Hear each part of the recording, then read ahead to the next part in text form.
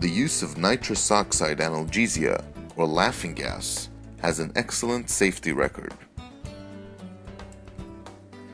When administered by trained personnel on carefully selected patients with appropriate equipment and technique, nitrous oxide is a safe and effective agent for relaxing children during dental procedures. Acute or chronic adverse effects of nitrous oxide on the patient are rare. Nausea and vomiting are the most common adverse effects, occurring in 1 in every 200 patients. A higher incidence is noted with longer administration of nitrous oxide, so we try to avoid procedures from taking too long.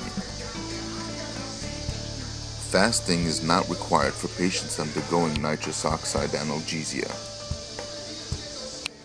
However, in general, we do recommend that only a light meal be consumed in the two hours prior to the administration of nitrous oxide.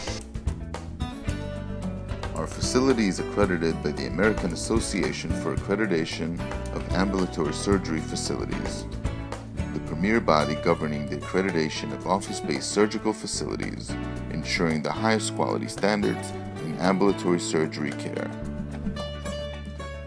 This means that for treatment using any type of sedation, we have exceeded the required safety measures that are recommended by the American Dental Association. If you think your child may be a candidate for treatment using nitrous oxide analgesia, please call us to schedule a consultation with our team of experts.